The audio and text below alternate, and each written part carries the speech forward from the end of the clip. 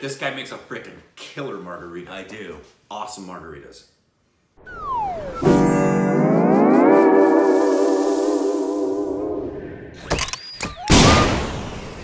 Hey, welcome back to our Stupid Reactions Idiots. I'm Korbin, and this is Rick. And now I want a margarita. Me too.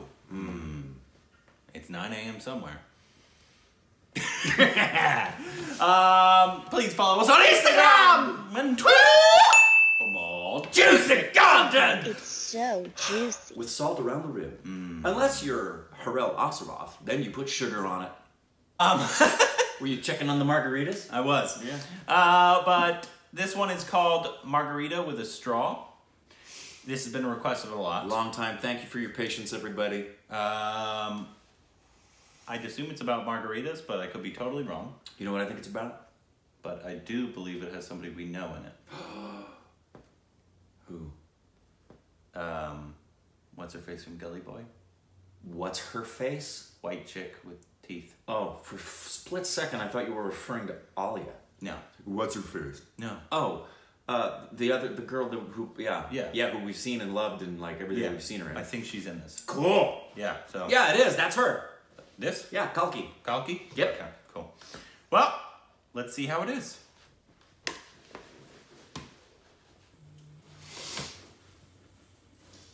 In love with it already. She's next level. Had no idea. Was not expecting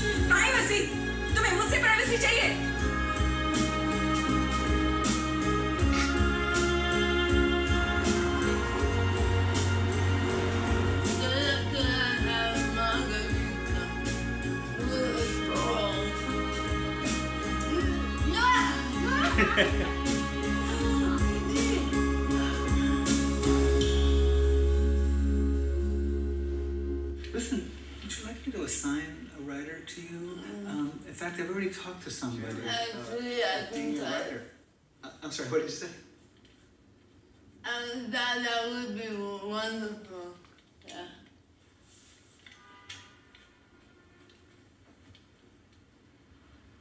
Freaking so in. The? I, So freaking in. I was not expecting that Not in the least, man. in the slightest. Not in the least. San Francisco. India's National Film, Festival. Awards. Yeah, I saw some Cannes mentions and Sundance mentions Okay. uh, in the trailer. Holy cow. Wow. Wow. Yeah, I'm blown away. right totally now. blown away. Gotta see this ASAP. Yeah. It, I do have a question. Is she white? Or is she just like. Because she doesn't look Indian at all. Oh, I know what you mean. Uh, yeah. No, Yeah, so I, I- my- uh, obviously, I think she's she she's. I, I can't tell from her appearance what her ethnicity is. She's Yeah. extremely Um, I could make some guesses, but I'm sure I'd be way off. Yeah. Hold on. Go ahead. A rebellious young woman with cerebral palsy leaves her home in India to study in New York, unexpectedly falls in love, and embarks on an exhilarating journey of self discovery. And that's what the trailer looked like. Exactly what the trailer was showing us. Um, yeah. Sorry, I'm still thinking about the trailer. I know. She. Okay.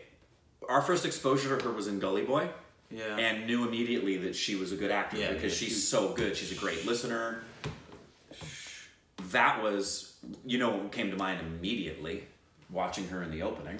What? My left foot, because Oh, for yeah. me, the best. She had um, cerebral palsy. right? Yeah, which the best the best performance I've ever seen of someone presenting someone uh, with, and I, I don't fr- from trying to remember all of the details what uh, um, that character had. A true story, and I'm forgetting his name. I, Daniel Day-Lewis. no, no, the person he plays is a true story. Oh, okay. Doesn't matter. Brown, anyway, uh, is his embodiment of that character, which was incredibly difficult to portray. But she just next level, gotta see it. Yeah. Um, is she? Is this like her crowning performance? Uh, obviously, we've only seen her in Gully Boy. Yeah. But we've seen her in a couple other trailers. A couple other trailers, and, and uh, I think there was one other thing that we saw her in. I don't remember if it was. There's something else that she was in. She had a small role, I thought. I think it was a trailer. Could be, but anyway, um, I want to know more about her background personally. I want to know her training. Yeah. Where she's from. Yep, if she has a theater background, where she studied. I want to know a lot more about this actor Yeah, because I really like her a lot.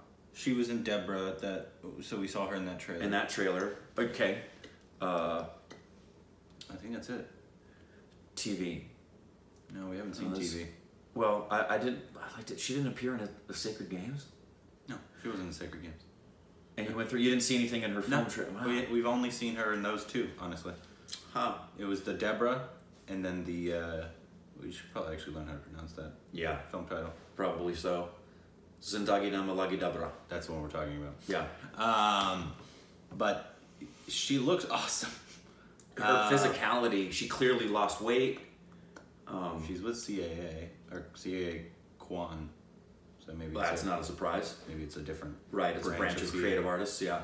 Um, yeah, I'm quite interested because French parents that she looks her facial I would guess that, but because she does so many Indian films and speaks Hindi, so is she adopted in this film because she has Indian parents. her parents that then came had to come to India as hippies in the 1970s. That's cool, and settled there and fell in love with the country. Dope. That's very cool. So she she was there, Okay. grew up there. So she's French genetically, Gotcha. Indian by nationality. Gotcha. Yeah, she's she's awesome. Um, Love her. So please let us know how this film is. I hope it's phenomenal. If it's as good as the trailer, it's gonna probably be one of our favorite films Yeah, we've seen. it's- Because that trailer was this is our type of charts. film. Oh man. It looks like it's all about her. A, a really intimate performance. Mm-hmm. Um, really, I'm just kind of almost blown away by the subject matter India chooses to um, portray Mm-hmm. because we don't Yeah. Let, autism, um, Asperger's. Yep. Uh, now, um, what is it called that we just saw? Cerebral palsy. Cerebral palsy, as, as the main character in a film. Yep. Almost never happens. Right. You might get it as a, a side character, a Right. brother or something. Right, but not as the, not as the primary point of the story. You very rarely get it. Yeah, and the Uh, subject matter. Like I remember being shocked when we watched Pink, which was a couple of years predating the whole Me Too movement. Oh yeah. And guys, we just on and on can't tell you how much we want people to know. Get get emotional thinking about it. That you're not a freaking third world country, man. In in any way, shape, or form. That you guys in your artistry are so cutting edge and right on the cusp of creative brilliance. And this looks like just another one of those that we'll see and just be floored and say, why the heck don't we know about these films? And this actress. and this actress because what i just saw in that trailer looks like it could be on the level of the stuff see every award season here in the us when the fall rolls around we are like rolling up our sleeves getting ready to watch the, the stuff that's going to be part of the awards conversation for the trifecta of the globes the sags and the oscars this looks like something that should have been in the conversation especially with all the ribbons from the different film festivals Yeah. Came out. even as a foreign film i mean why why are we first hearing about this if it's as good? And they've been going nuts saying you've got to react to this. You got to react yeah, to this This has been a uh, uh, requested from 2014, a couple years ago. five freaking years ago. I do hope it's good. Me too. That was a good trailer. Right? I'm quite excited. So Yeah. Please let us know how it is. If it's worth a watch, I hope it is. I'll be very sad if it's not.